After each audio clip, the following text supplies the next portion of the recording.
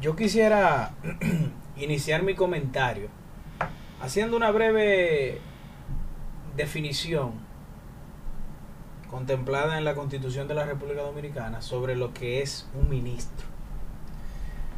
Y lo voy a leer textualmente. De acuerdo a nuestra Constitución, son los encargados del despacho de los asuntos de gobierno y son creados por ley.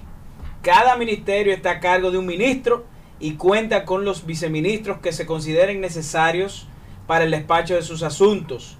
Los ministros y viceministros son designados, y cito en mayúscula y en negrita, por el presidente de la por el presidente constitucional de la República.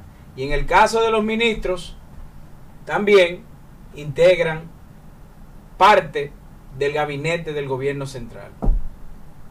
Traigo esto a colación porque de forma insistente tengo que señalar a esos ministros que entienden que gozan de autonomía, que entienden que no fueron designados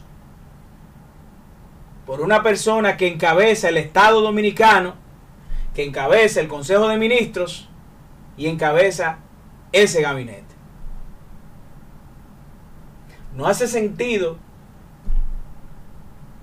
que un presidente presente un plan de gobierno y de ejecución, un plan de organización anual y estratégica,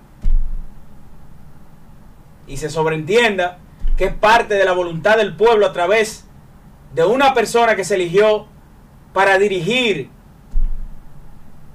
el rumbo de un país, que un grupo de ministros, contemplado este plan de ejecución de problemas elementales,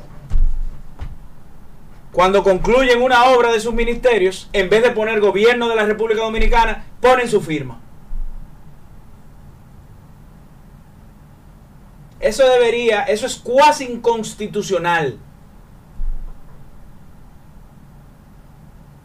Aquí ningún ministro debería, mediante su gestión, que fue designado por un presidente de la República, para resaltar su gestión per se, ponga su firma personal. ¿Por qué? Porque no es usted que está ahí. Es una gestión presidencial encabezada por un presidente de la República. Y si en su defecto usted no quiere poner el nombre del presidente, ponga gobierno de la República Dominicana, gestión 2020-2024. Yo no estoy diciendo que lo están haciendo todos los ministros. Pero lo que lo están haciendo, sabe, sabe quiénes son porque aquí hay muchos ministros haciendo una buena gestión, siempre y cuando tengan el conocimiento y la aprobación del presidente de la República y enalteciendo una labor conjunta de todos, no una labor autónoma, una labor que se supone que es que usted parte de un gran plan conjunto encabezado por el presidente de la República. Hago este antecedente, Félix, y ustedes lo verán como algo mínimo, pero yo no lo veo así. Porque yo digo que lo hacen lo poco, lo hacen lo mucho. En días pasados, nos hicimos eco también, de que iban a eliminar un, y en, y en plena pandemia, una pista que sirve para esparcimiento al aire libre de cientos de niños. Estoy hablando de la pista de bicicross de el complejo deportivo eh, donde está el Estadio Olímpico. La ciudad deportiva sería la de aquí. Se hizo un sinnúmero de reclamos, se hizo viral en las redes sociales, se tagueó a la señora primera dama nuestra, Raquel Arbaje, se tagueó al honorable señor presidente de la República, al honorable señora vicepresidenta, y recibieron a los jóvenes que están dirigiendo esa pista de, esa bicicross. Los recibió, un los recibió a, esos jóvenes un viceministro de deportes. Le dijo que sí, que todo estaba bien, porque iban a eliminar la pista de bicicross para gastar casi 50 millones de pesos en un pabellón de karate, cuando ya hay un pabellón múltiple en la ciudad olímpica nuestra, aquí en la ciudad. Le dijeron que sí, que todo estaba bien. Pues señores, miren, a las 48 horas, faltándole el respeto, una disposición presidencial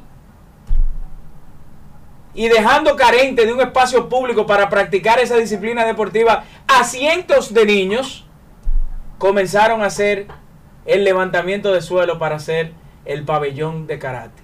Porque parece que es más factible para, para, para ese ministerio gastar 40, 50 millones de pesos en un pabellón de karate innecesario en momentos de austeridad que dejar que un grupo de niños fortalezcan sus cuerpos al aire libre practicando bicicross. ¿Y hasta cuándo tendremos ministros autónomos? A tal punto que un presidente no le da una orden, le da una disposición y ellos hacen lo que entienden.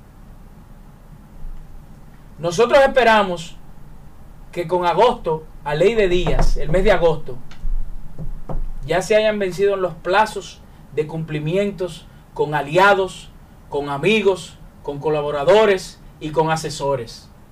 Y que el que esté haciendo mal su trabajo, deje al presidente trabajar y se aparte del camino. Y los buenos que continúen haciendo su trabajo. Por otra parte, y para finalizar, quiero agregarle algo al comentario de mi compañero Félix Luna respecto a la vacunación. La ciencia ha demostrado que a mayor vacunación, menor tasa de contagio, menor tasa de letalidad. Pero también quiero agregarle como joven, como ciudadano preocupado, como comunicador, que es una irresponsabilidad por parte de algunas personas que son figuras públicas, en distintos rubros de negocios, y entre ellos la comunicación, que han tratado de darle un tenor jurídico a esto, para personas sin conocimiento de causas jurídicas, con personas con menos preparación educativa que otros, entiendan que están en su pleno derecho de negarse a vacunarse y seguir contagiando a una población, incluidas sus familias. Eso es una irresponsabilidad por parte de algunos comunicadores en plataformas sociales de decir que eso si usted le da la gana. No. Es un momento de pandemia inesperado para la ciencia. Usted es otro propagador. Cuando incentiva a la gente que no vaya a vacunarse. Como tampoco le perdono a algunos, eh, eh, algunas figuras del fitness de este país. Que se llenan su vida entera de esteroides a través de jeringuillas. Que digan que es una irracionalidad y es contraproducente a la salubridad de un ser humano vacunarse cuando ellos fueron pequeños y gracias a las vacunas, tal vez ninguno sufrieron de una mononucleosis, de un polio, de una difteria. Esos son propagadores también. Y aquí tiene que haber una regulación.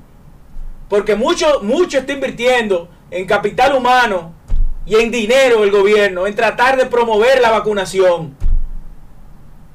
Y estos, estos propagadores de, de la no vacunación deberían ser sancionados por las direcciones correspondientes. Pero ¿cómo hace justicia que una persona que el pueblo le ha dado la oportunidad a través del micrófono le está enseñando de derecho, de un derecho ilógico, que en un momento pandémico usted quiera recurrir a la constitución de la República indicándole, no, eso usted le da la gana, no, vaya y vacúnese. Y lamentablemente, cronológicamente, los dominicanos, que hasta yo me incluyo en algunas ocasiones, no hemos aprendido conductas por la disposición, es por la imposición. Usted me va a aplicar la constitución, yo le voy a aplicar que en los lugares públicos usted tiene que tener su carnet de vacunación. En los sitios de foco de contagio, como son metros, teleféricos, eh, donde hay aglomeración, usted tiene que tener su carnet de, de vacunación. Pero esto no puede seguir así. Nosotros tenemos una sobredemanda de vacunas. Y por primera vez en mucho tiempo en la historia democrática de este país, usted no tiene que estar ni en llamado ni ser de un partido político para acceder a un servicio social como lo es la vacunación. Aquí no es de que José es de tal partido y Félix de tal, vacunen al que es del partido de gobierno. No, ahí van mansos y cimarrones y todos tienen acceso a la vacuna. Por Dios, señores, yo que lo he vivido en carne propia, lo que es perder un ser armado por esa maldita pandemia. Acudan a vacunarse y no sean ignorantes, por Dios. Eh, Jochi, déjame agregar. Por último, a la Comisión Nacional de Espectáculos Públicos. La radiodifusión especulativa sin conocimiento de base es penada por la ley. No hace sentido que haya médicos, representantes del fitness aquí, comunicadores, mal informando, diciendo que esa vacuna no sirve. Usted tiene una sustentación científica. Yo se la tengo. En los países donde se ha inoculado más del 70% de los ciudadanos, se acabó el contagio, se disminuyó la letalidad y en algunos hasta se eliminó la letalidad. Vimos el estado de Nueva York, tiene dos días sin un fallecido por COVID, porque los que han ingresado vacunados, porque no es que usted no le va a dar el COVID, solo le va a dar un 5% del cuadro clínico que le daría usted de usted no estar vacunado. Así que, señor director o directora, porque no sé quién es, porque no suena, de, de espectáculos públicos, esto es una democracia. Y esperamos nosotros responsablemente que siempre lo sea. Pero cuando se ve atentada la democracia y sobre todo la salubridad de un país por la especulación, tiene que caerle todo el peso de la ley al autor de eso. Muchas gracias.